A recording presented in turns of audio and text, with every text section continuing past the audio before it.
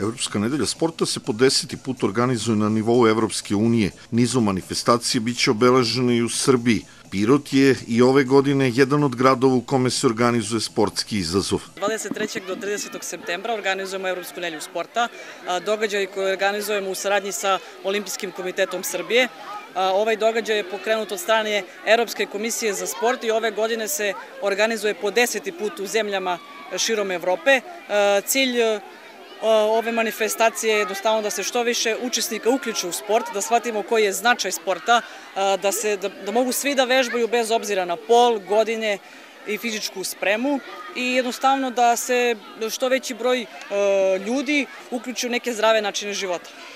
Prvog dana izazova predstavila se Swan Dance Akademija. Uz njihove plesače vežbala su i deca iz predškolske ustanove Čikajova Zmaj i osnovne škole Vuk Karadžić. Zaista je važno da se deca bave sportom, jedino što je danas jako velika vrućina, pa nećemo baš toliko da ih mučimo, inače sve to radimo i mi na treningu što danas prikazujemo. Ovde su i vrtići i škole, tako da gledamo da prilagodimo trening e, tom uzrastu koji je došao.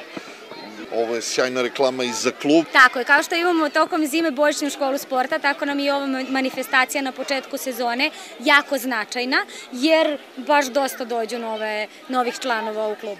Od ove godine sportski izazov u okviru Evropske nedelje sporta ima i svog promotera. To je na nivou Pirota naša sugrađanka proslavljena paraolimpijka Saška Sokolov. U okviru Nedelje sporta 28. septembra od 19 časova želim da vas pozovem da učestvujete u trci od 3 km koja će se održati u našem gradu.